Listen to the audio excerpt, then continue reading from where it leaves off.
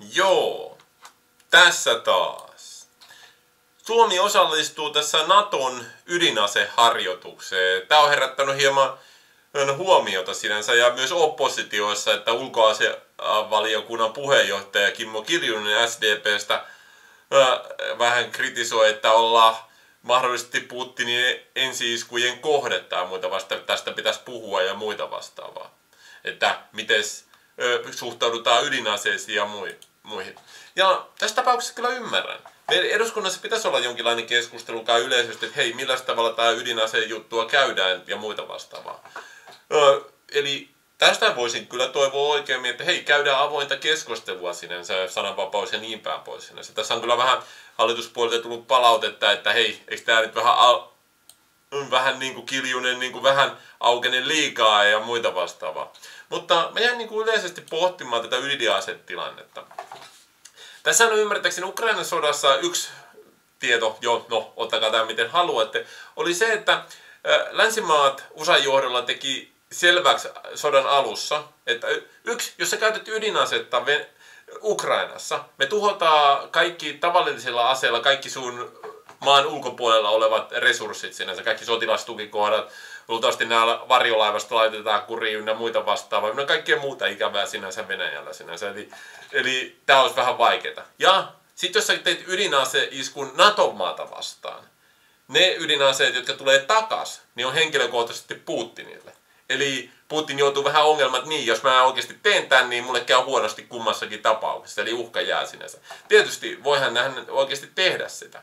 Ja tässä onkin sitten Suomelle se mielenkiintoinen tilanne, että mitäs me tehdään sinänsä, että me ollaan oikeasti lähellä Venäjän, Venäjän rajaa, tai no Venäjän, no, Venäjän suurkaupunkia Pietaria ja Kuolan niemimaalla olevaa onko se ja laivastotukikohtaa sinänsä se ei varmaan kuinka, kuinka, kovinkaan monta minuuttia kestä, kun ydinkärki ja ohjus lähtee, jos se lähtee ammuta, niin riippuu siitä ammutaanko se sitten lentokoneesta lähtevä F-18 pystyy sellaista kantamaan tiettyjä kai. Eli kuinka monta minuuttia kestää, kunnes se pääsee Pietarin, Pietarin alueelle tai Kuolan niemimaalle, kun Suomesta lähtee. Ei nyt varmaan kovin montaa. Eli tässä on niinku se kai riski, mitä Venäjä ajattelee, että hei, pitäisikö meidän tehdä ensi isku, mutta sitten tulee takaspäin varmasti paluupostia sinänsä. Ja nyt täytyy muistaa, missä Suomi on nyt. Me ollaan vuosikymmeniä, niin Neuvostoliiton suomettumisen aika oltiin myötältiin Venäjää koko ajan. Nyt me ollaan Natossa. Me ollaan NATO-maa, joka on hyvin lähellä Venäjän yhtä toista tärkeintä asutuskeskusta ja lähellä hyvin tärkeitä so- sotilastukikohtaa. Totta kai me ollaan ensiiskujen kohde tai hyvin vahvasti katsovat varmasti, että mitä tehdään. Eli tässä vaiheessa meidän kannattaa ajatella, että hei, on meilläkin kyky nyt. Me, me ollaan Yhdysvaltain ja jos mä olin Ranskan ja, ja Englannin niin kuin ydin sateenvarjoalla sinänsä. Jos ne ei tarjoa suojaa, niin varmasti Itä-Eurooppa ja Suomi mukaan lukien lähtee kehittämään ydinasetta ja toivoo, että hei, mekin, meilläkin on tällainen sinänsä. Eli tämä on se tilanne tällä hetkellä siinä. Ja pitää muistaa Putinin, jos se aikoo käyttää ydinasetta sinänsä, niin siinä voi olla, että kaikki sen lähistöllä olevatkin miettii, että hei, jos toi nyt antaa käskyn, niin hän, kaikki Putinin ympärillä 10 kilometrin säteellä kuolee luultavammin.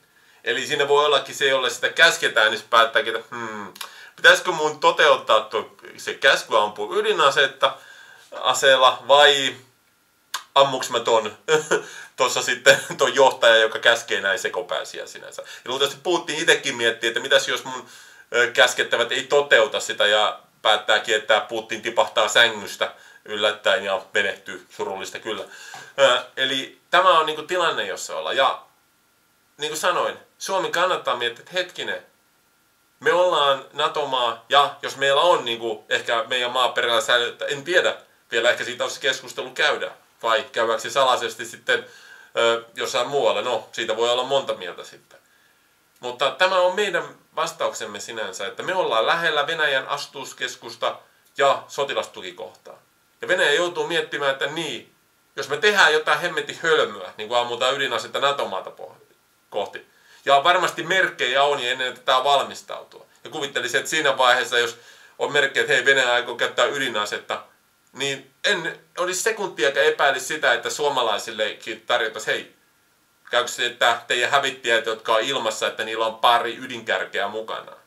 Koska Venäjä joutuu sitten miettimään, että hetki, jos mä ammun, ne tulee takas ennen kuin ensimmäinen edes osuu maaliinsa. Niin voi olla, että pari on jo lähdössä Pietaria suun kohtaan. Tai jos ollaan sotilaallisesti tärkeitä, niin Kuolan niemimaan so- laivastotukikohta ja sukellusvenetukikohtia. Ja Venäjän ydinasevarastoja ja laukaisualusteja kohti. En olisi sekuntiakaan yllättynyt. Eli tämä on jostain hyvä käydä keskustelua ja katsoa, että miten tämä tilanne menee.